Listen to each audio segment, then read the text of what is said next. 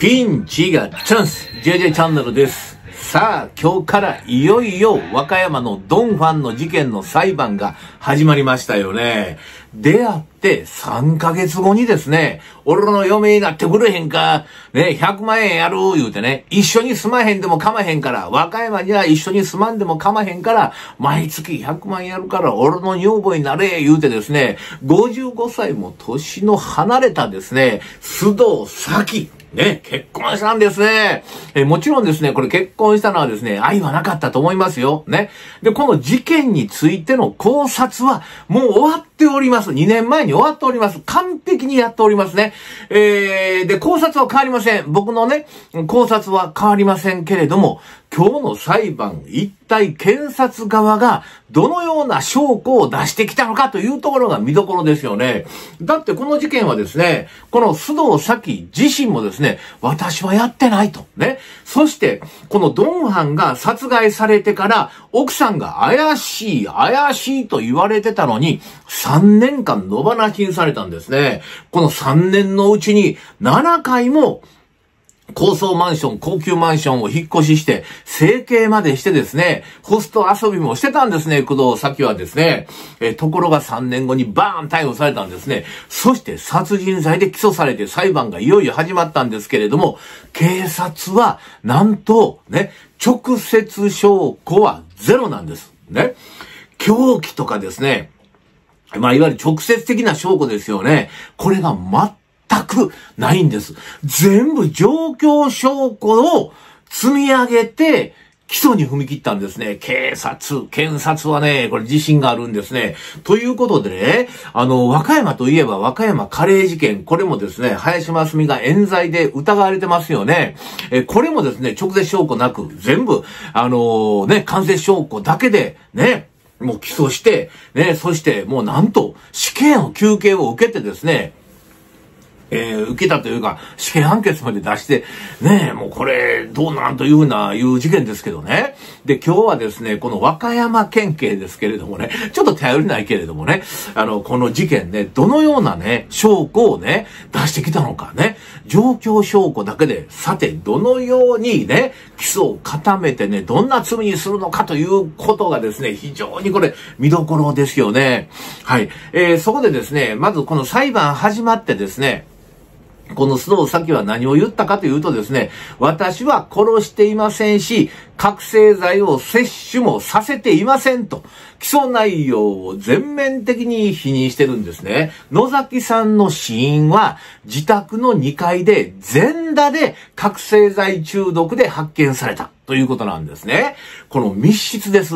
この野崎さんがお亡くなりになった時には、この須藤咲と家政婦、そして野崎さん、この3人だったんですけれどもね、この中でね、この家政婦も怪しまれたんですけれども、まあ家政婦さんは今回事件とは関係ないいうことで、ね、この須藤咲がですね、疑われたんですね。覚醒剤飲ましたやろお前は、いうことやね。だけれどもね、私は殺してないし、覚醒剤を摂取させていないということから始まったんですね。で、どんな起訴状かというとですね、簡単に言うと、須藤被告は2018年の5月の14日、もう6年以上前の事件ですね。和歌山県種、田辺市の野崎さん、ドンハンですね。ドンハンの自宅で致死量を超える覚醒剤を野崎さんに口から摂取させたやろということで、殺害したやろということで起訴、起訴されてるんですよ。まあ、はっきり出たんですね。お前は口から飲ましたやろということなんですね。はい。で、野崎さんが覚醒剤を摂取した時間帯は、須藤被告と二人きりやったやないかということなんですね。で、重要な状況証拠を三つね、検察が出してきました。ね、どんなようなこの状況証拠を3つ出してきたかというとですね、今言ったのが一つ目です。ね、まず一つ目、ね、おい、さっきと、ね、お前は野崎さんが覚醒剤を摂取した時間帯には、ね、お前と二人っきりやったやろということなんですね。まあ、オブラーとかなんかカプセルになんか入れて飲ましたとしてもですね、その飲ました時間、ね、そして野崎さんが亡くなった時間、二人っきりやったやないかと。これだって夜の6時から10時って言われてるんですけど、飲ましたのはもうちょっと前ちゃうかなんか言われてるんですけども、大体6時からね、これは夜の10時で犯行が行われた。この時にお前二人やないかとね、家政婦は帰ってきたのは7時半やないかと、二人っきりの時間あるやないかっていうことが一つ目なんですね。そして二つ目ですね。えー、いわゆるですね、結婚する前にですね、いろんな、えー、検索をしているんですよね。この検索がすごいんですね。覚醒剤のこととかいっぱい検索してるんですけれども、全部、このスマホの検索履歴とかですね、えー、こういうものを全部証拠としてだ出してきたんですね。でね、まずですね、こんな映画を見てたんですね。須藤咲はですね、遺産目当てと言われた女たち5000。すごい大名でしょ？遺産目当てと言われた女たち5000というですね、動画を見ていた。で、これも一つ証拠。状況証拠として、お前なんでこんな動画見てんねんってね。まあ、これ証拠になるのかな？まあ、こんなこと出てきたんですね。そしてですね、あのー、鳥兜殺人事件とか、妻に全財産を残した場合の衣装の分類とかですね、こういったサイトですね。非常にですね、なんか、ちょっとお前、これ怪しいやないか。なんでこんな閲覧してたんやっていうようなことでですね、こんなことを見たサイト、ね、見たやろいうことでですね、状況証拠を出してきたんですね。そして今度は、見たものじゃなくて検索。何を検索したかというとですね、老人死亡。ね。野崎さんってもうえ、えらい年だったからね、老人死亡言うて検索したりですね、覚醒剤過剰摂取とかっていうキーワードで検索してるんですよ。ね。そしてその後、ね。これは今言ったのは全部事件前です。そのようなキーワードで検索したんですけれども、野崎さんが亡くなってから、ね、今度はですね、覚醒剤検挙率とかですね、殺人罪の時効とかですね、こういうことをですね、検索してるんですよ。つまりですね、この検索がですね、あの、方法、結果、その後というですね、方法、結果、その後。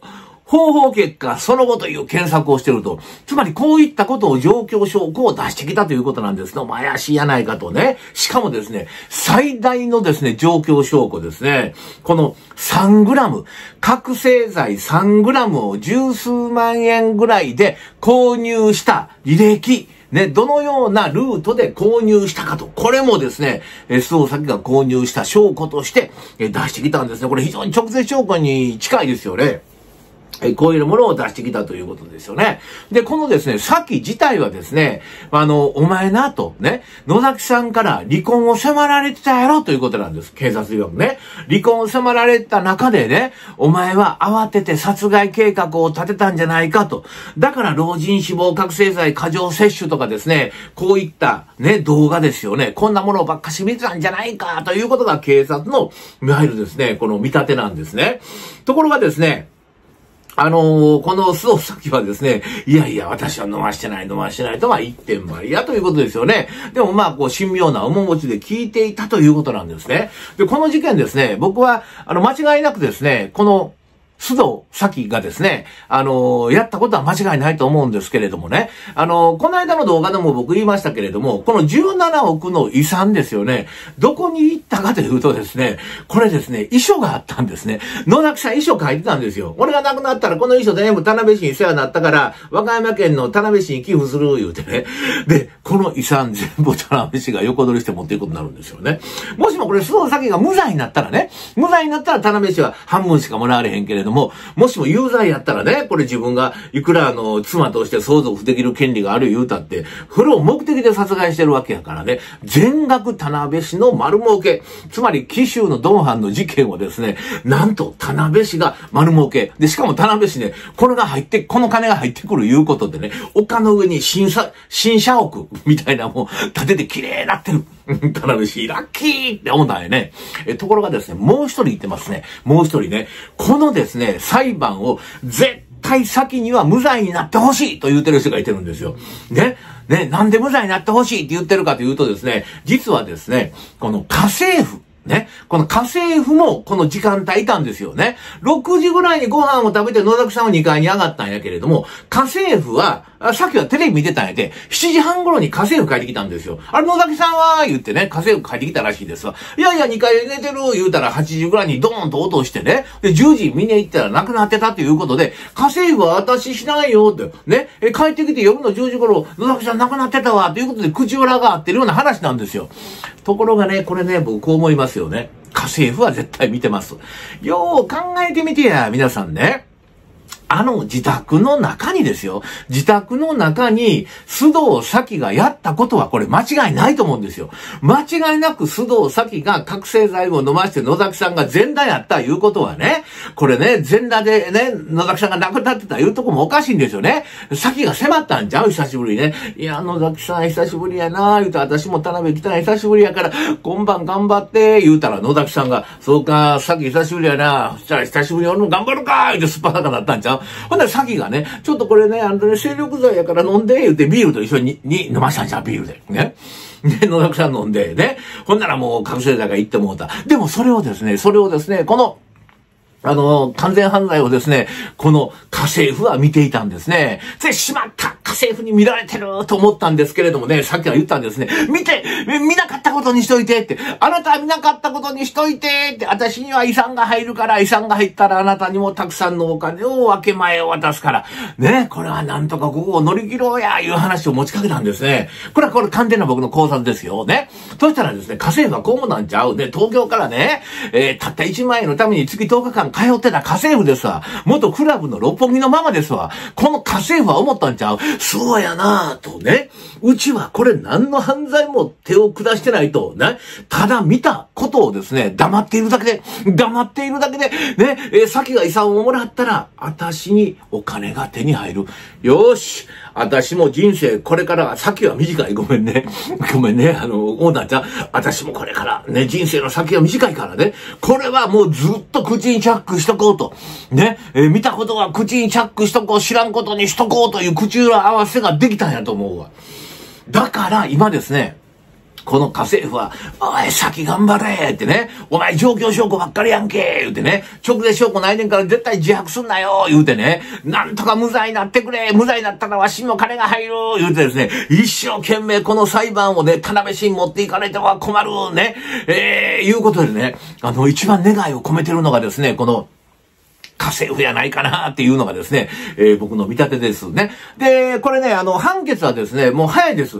12月の12日にですね、この事件の判決が出ますけれども、もうこの状況証拠、プラスアルファですね、この覚醒剤を購入しているというね、3グラム以上ね、もうこれでも完全にアウトやと思うわね。